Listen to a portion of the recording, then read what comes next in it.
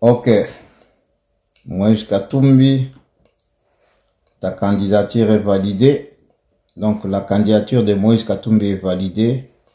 Mais Moïse Katumbi vient de signer la fin de sa carrière politique.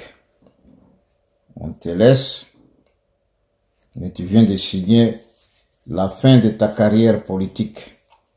Et c'est fini pour toi. Donc, euh, on aura le temps. On va te fixer au mix. Aux élections, tu ne passeras pas. Et après, même 2028, ça sera fini pour toi. On aura beaucoup plus le temps de valider la loi de la loi Chani et ça va passer.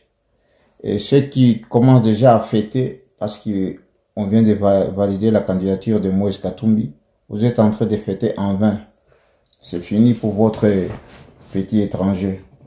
Donc on a fait ça pour éviter la guerre en République démocratique du Congo parce que nous voulons des élections libres, transparentes et paisibles. Et avec ça, on va accompagner la victoire de Félix Tshisekedi Chilombo. Nous tous ensemble, avec l'accord de, Kabila aussi. Hein.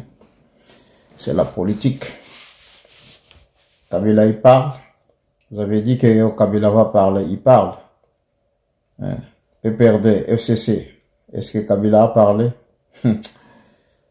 Boyebi politique, Katanga, suivez le président qui peut Katanga. Suivez le président qui peut Katanga. C'est là où il y a de l'eau. C'est là où il y a les dollars. Les dollars seront là-bas. Ici, chez nous. Katumbi, c'est fini pour lui. On a validé sa candidature pour éviter le bain de sang, pour éviter des troubles.